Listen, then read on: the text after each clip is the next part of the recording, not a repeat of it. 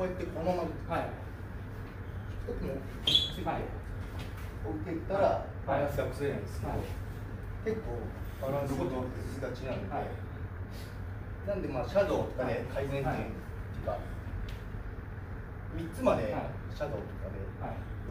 ジャブガードストレートとか、はい。ジャブジャブストレートとか、はい。ジャブ避けて、はい。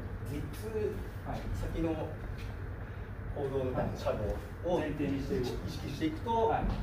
ワンツーだとしてもこれで終わっちゃってるのもバランスが崩れたから、そうで戻してジャブ、はい。ワンツー避けてで終わっちゃってるんで、はい。避けてストレートまでのシはいャドウそういう三つはい。意識してやると、はい。バランスが崩れない、はい。崩れてからまはい。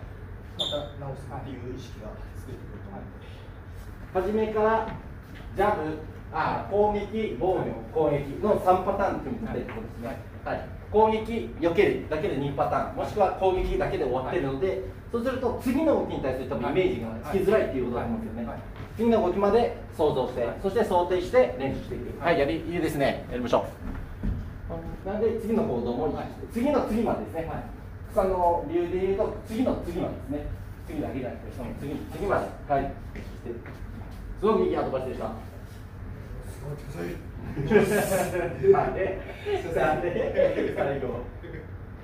ワンツー、バック、ワンツー、踏み込んで、そうです。どうしても僕は入らないので、はいはい。はい。ああ、ナイス。そうです。で、防御からいきますか。防御、攻撃、で、ワンツー。ワンツーです。全部ワンツー。で、また、バックステップまでいきます。いきますよ。